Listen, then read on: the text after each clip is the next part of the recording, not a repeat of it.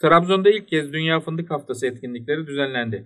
Trabzon valisi İsmail Ustaoğlu, ilk kez kutlanan Dünya Fındık Haftası nedeniyle kentte çeşitli etkinlikler yapılacağını kaydederek her şeyin ilki önemlidir. Bu yıl Dünya Fındık Haftası'nı başlattık. Ama aslında bize her gün fındıktır. Sadece Ağustos ayı dönemi itibariyle değil. Bizde fındıklar toplanır ama sonrasında başlarız. Bu sefer güz dönemiyle birlikte budanacaksa, seyretme yapılacaksa onları seyreltiriz. Aslında 365 gün fındıkla yaşarız biz. Fındıkla kalkarız, fındıkla otururuz.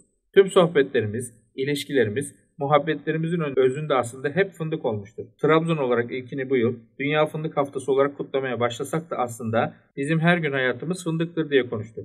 Etkinlikler kapsamında 2020 yılı en fazla ihracat yapan sanayi kuruluşlarına ödül verildi.